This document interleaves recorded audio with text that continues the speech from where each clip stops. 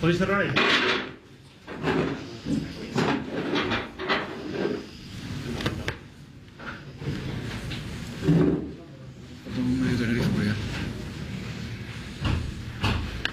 Buenas noches, rueda de prensa de Álvaro Cervera, entrenador del Club Deportivo Tenerife. Cuando queráis, preguntas, por favor. ¿Qué, qué valoración hace del partido? Bueno, es un partido bien disputado, con un equipo que juega mucho a la posición del balón, bastante bien defendido por nosotros.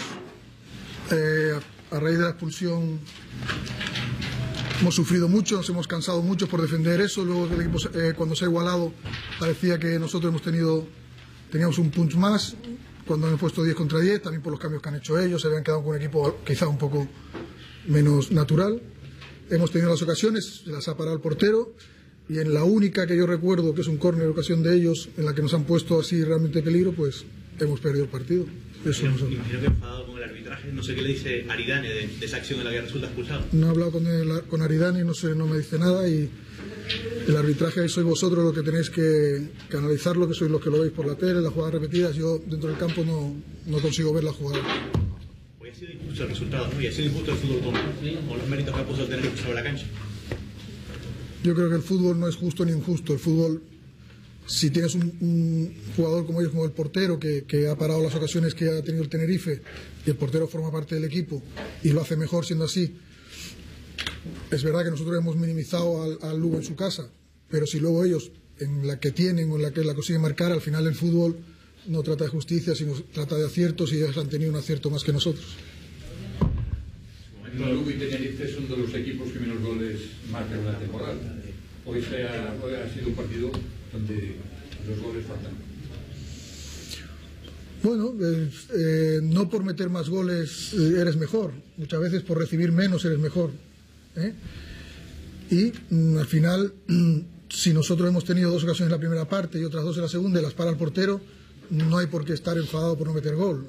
Hay que estar enfadado porque el portero los ha parado, pero otra cosa es que no llegues a portería, que no tengas ni una ocasión, entonces sí te puedes preocupar, pero tal y como se ha desarrollado el partido, te preocupas por el resultado y por la situación, pero el partido en números, realmente fuera de casa, en Lugo, no es para estar content, para estar descontento con lo que ha hecho el equipo. Si en su momento que el objetivo principal era la permanencia, es para estar preocupado. hablo, solo, hablo solo del partido de hoy, no hablo de lo demás. Son, Mister, eh, cuatro eh, jornadas sin, sin, ganar, dos derrotas, dos empates. ¿Le preocupa el futuro viendo cómo están las cosas con las bajas, por ejemplo, que se acumulan ahora también con Aridane y Ricardo?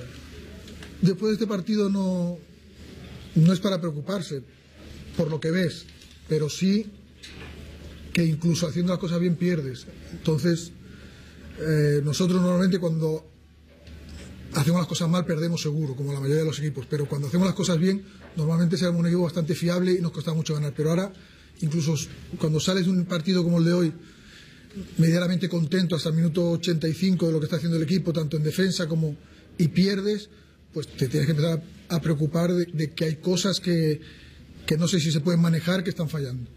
Eh, ¿Qué le ha dicho Aridane en esa acción? No, no he hablado con él.